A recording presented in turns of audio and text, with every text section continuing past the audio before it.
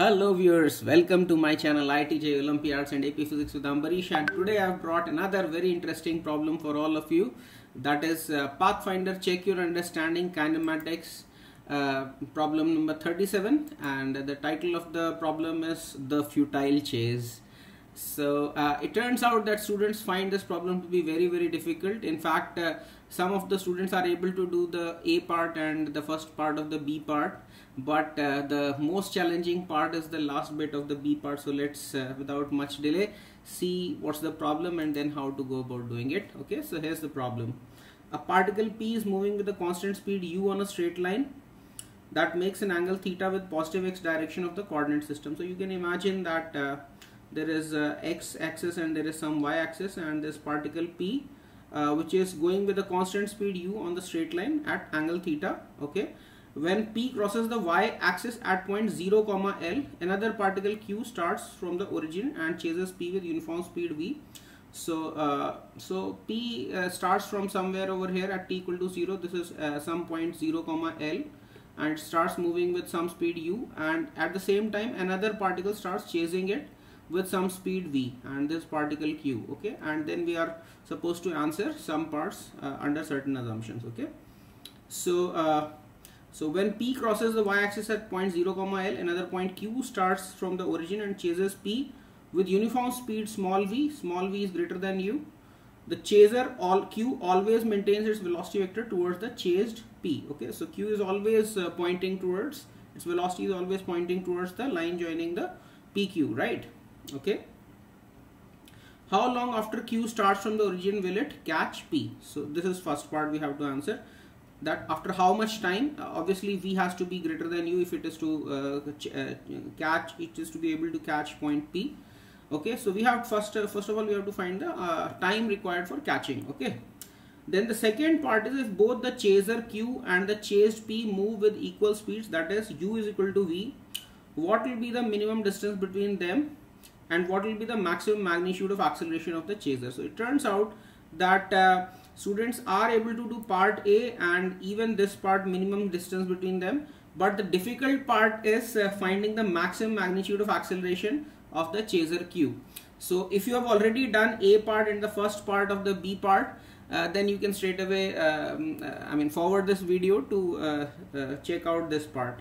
How to find the maximum acceleration of the chaser Q okay? I'll be presenting the entire solution. So if you want you can give it a try.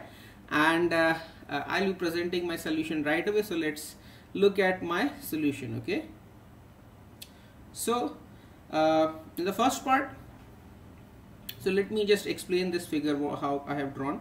So P is moving straight away uh, straight on this line uh, with a constant speed u and uh, Q is always pointing towards uh, P. So initially P was here and Q was uh, walking in this direction or running in this direction. As P keeps moving ahead, Q keeps on rotating its velocity vector. So at some instant, let us say it is at point some Q dash and P is at some point P dash. So velocity vector of Q is pointing towards the line Q dash P dash, right? So what is the approach velocity? So approach velocity is a standard concept that you study when you study kinematics. Velocity of approach, velocity of separation. Uh, during the relative velocity you study about it. So it's a standard concept and I'm not going to present that thing in detail here. Okay, so you can refer to the standard text for that. But here if you see what is the approach velocity. So approach velocity we mean the rate of reduction of the distance between q dash and p dash. So so this is uh, moving with v and its velocity is directly along uh, q q dash p dash. So because of the motion of q dash the approach velocity is v itself. And because of the motion of uh, p if p were only moving the rate of increase of distance this distance would have been u cos phi. So because of velocity of q the distance would decrease and because of velocity of p the distance would increase. So net approach velocity is nothing but v minus u cos phi right? So uh, approach velocity is rate of reduction of distance. So let's say capital T is the time by which all the distance is covered. So uh, rate of reduction of distance, the integral of that will be total reduction in distance, right? So what's the initial distance? Initial distance is L, L and the final distance is 0. So integral of rate of reduction of distance must be equal to L. So that's what I've written.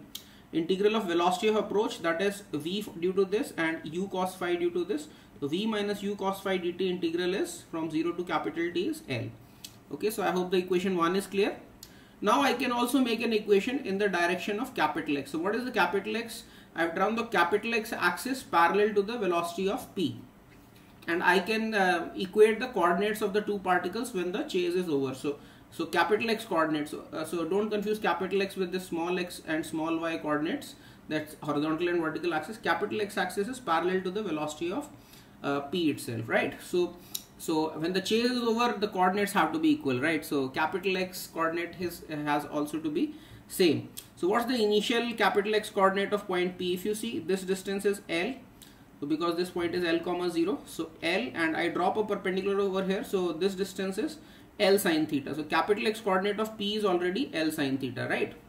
And it's moving with speed u so at a time capital t it is further moved by a distance cap, uh, u capital t so the coordinate of point P is simply L sine theta plus U capital T, capital X coordinate, right? And what about the capital X coordinate of Q? So the horizontal, rather capital X direction velocity component of this is phi because this angle I've taken as phi. So this is V cos phi, right? So L sine theta plus U capital T must be equal to integral of V cos phi dt, okay? And now I can rearrange this equation one, you see if you integrate this this will become v times capital T and this will be u cos phi dt right? So v times capital dt and you take the L on this side. So v times capital T minus L becomes you take this on the other side. This becomes u cos phi dt right? And now v and u are constants and integral cos phi dt is coming in equation 2 as well as equation 3 so you just divide these two equations and if you divide these equations you see the integral part vanishes because that same for uh, equation 2 as well as equation 3 so the ratio of the right hand side is simply small v upon small u because integrals are uh, same right? And the small v and small u are constants right? So then that uh, lovely okay? Uh, it's also there uh, used in one of the Irodov problems. So this part should not be very difficult.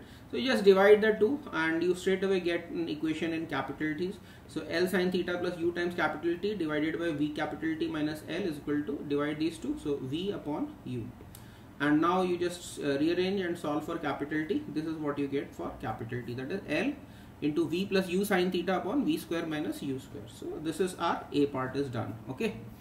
Now what was the B part? So first first part of the B part was uh, finding the steady state separation if both of them are moving with same speed. So if both of them are moving with same speed you know that finally Q will also be moving on the same line as P and the, since the speeds are equal so this separation is never going to vanish. So finally what will happen? P will be moving ahead and q will be chasing it on the same line and there will be some final separation okay?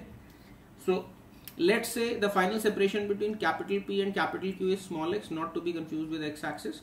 There's some variable I had to take so x is the most natural choice for me. So don't confuse it with the uh, x axis okay so let's say final separation between P and Q is x and now what is the reduction in distance? So initial distance was you see L and final distance is x. So reduction in distance is L minus x, right? So uh, reduction in distance must be the uh, integral of rate of reduction of distance. That's the integral of velocity of approach. So velocity of approach, how much is the velocity of approach? As I said in the previous part. So in this case, this is also v and this is also v. So approach velocity is simply v minus v cos phi. So integration of v minus v cos phi dt, okay. This is the uh, let's say capital T is a very long time. And uh, until that time the distance as final distance is x so reduction in distance is L minus x. So this integral must be equal to L minus x where capital X uh, small x is the distance after a very long time okay. So I hope equation 5 is clear to all of you. Uh, uh, the integration of approach velocity is total reduction in distance okay after a long time the two will be moving along the same straight line considering the difference of coordinate after a long time. So what's the uh, coordinate of uh, this one uh, p so capital x coordinate of this initial at t equal to 0 capital x coordinate is l sine theta. And after l sine theta it's moving with sp uh, speed v. So l sine theta plus vt will be the coordinate of uh, this thing uh, the cap the capital p okay? At a general time capital t and what about the coordinate of q? So so capital x component of velocity of q is nothing but small v cos phi right? So small v cos phi dt integral will give you the coordinate of uh, q. And the difference of this coordinate should be equal to the final separation right? That is x. So that's what I have done.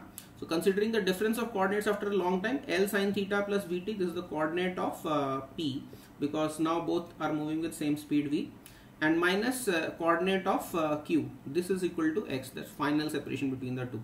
So this is equation 6 and this is equation 5 so I can rearrange equation 5 you see you can take uh, v. So this become uh, integral outside so this becomes v times capital T and there will be minus v cos phi dt okay. So v times capital T and minus integral of v cos phi dt okay. Is equal to L minus x. Okay now once again you see the same integral is there this integral and this integral. You can just subtract the two and get rid of this integral part. That's the troublesome part and that's like captured and captured and the game is simplified okay? And uh, so uh, now subtract that. Now, now, what are you left with? You see vt of vt also vanishes this term also vanishes. Only l sine theta remains on the lhs and on the right hand side it is x minus l minus x. So that is 2x minus l and just rearrange this equation once again. So steady state separation is L into 1 plus sine theta by 2 so this part was uh, probably easy for many of you. And uh, uh, and the tough part is now coming okay? So the toughest part of this uh, problem is finding the maximum acceleration of q uh, with the case of u being equal to v.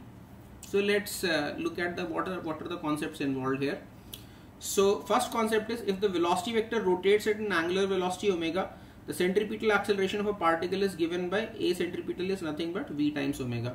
So you might be wondering that uh, why this formula is true. We learned this formula in circular motion, right? That centripetal acceleration is v square by r, which is also omega square r and which is also equal to v times omega but what but is it really true for a general path also? So answer is yes of course it's valid for a general path also because if it's an arbitrary path also it can be thought of as uh, piecewise circular uh, arcs right? Any arbitrary path can be thought of as made up of small small circular arcs. So this is also true even for uh, arbitrary path that centripetal acceleration is always speed times rate of rotation of the angular velocity vector right?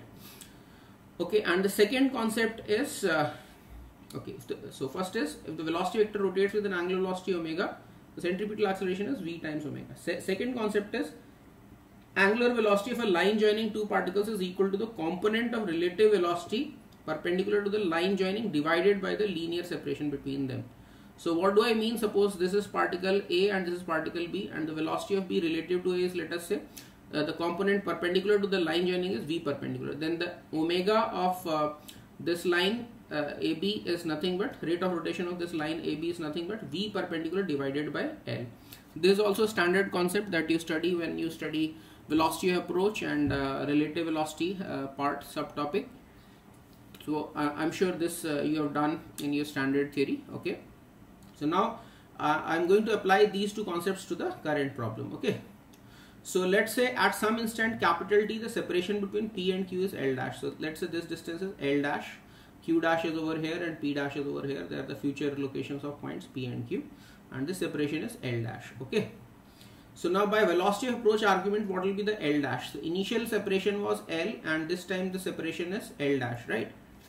So uh, so l dash must be equal to the initial separation minus the reduction of the separation. So what's the velocity approach? You see this this velocity is always directed along uh, qp itself. So so because of q dash the velocity of approach is v and because of p dash it is uh, minus v cos phi. Because because of motion of p the separation would increase.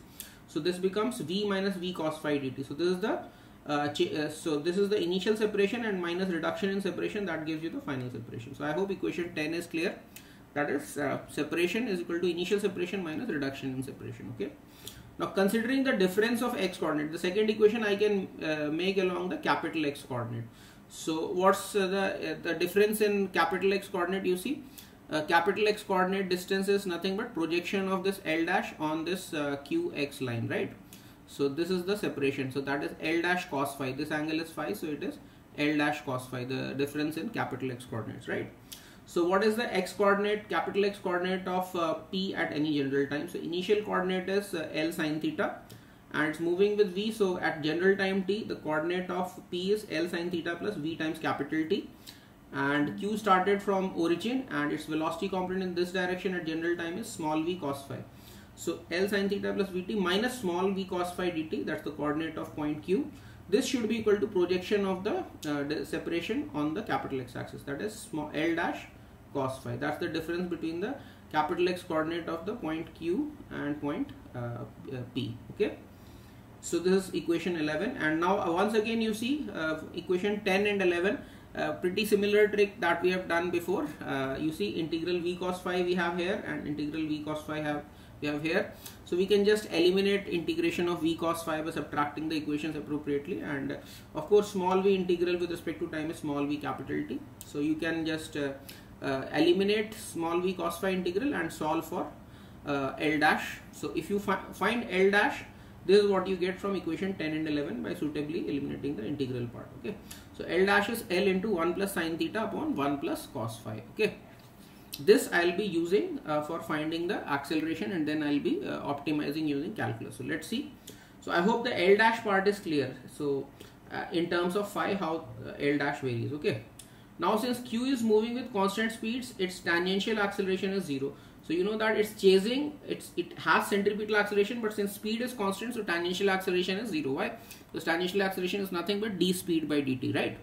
So its tangential acceleration is 0 and since its velocity is always directed along p dash q dash its rate of rotation is same as rate of rotation of line p dash q dash you see uh, this q dash is always along this line so as this line keeps rotating the velocity vector of q dash also keeps rotating so so the omega with which the velocity vector of q rotates is same as the omega with which the line p dash q dash rotates.